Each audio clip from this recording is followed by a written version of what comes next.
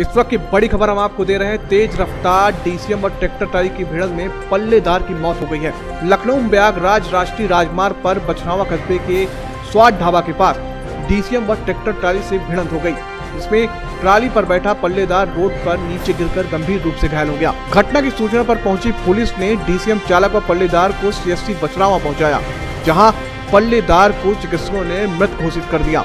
हम आपको बता दें कि प्रेम नारायण उम्र 45 वर्ष। पुत्र ननकऊ निवासी दुर्गन टोला बछरावा मंगलवार सुबह आठ बजे ट्रैक्टर ट्राली से चावल लाद कर बन्नावा जा रहा था।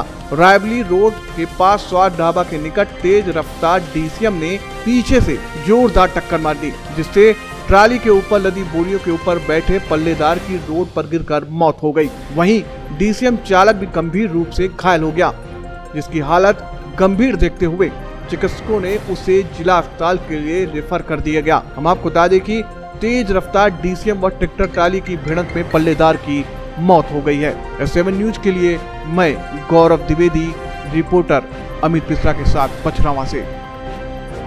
डॉक्टर इंदुभूषण जायसवाल क्या मामला है? मामला ये है कि आरटीए का केस है और पेशेंट का नाम है राम प्रेम नारायण। जी। पैंतालीस ईयर मेल आर्ट रोड ट्रैफ़िक एक्सीडेंट में की एक्सीडेंट में मृत्यु हो गई। यहाँ पे लाया गया तो फिर यहाँ पे पल्स बीपी हार्ट अटैक कुछ भी नहीं आ रहा था। तो यहाँ पे इनको मृत घोषित कर दिया गया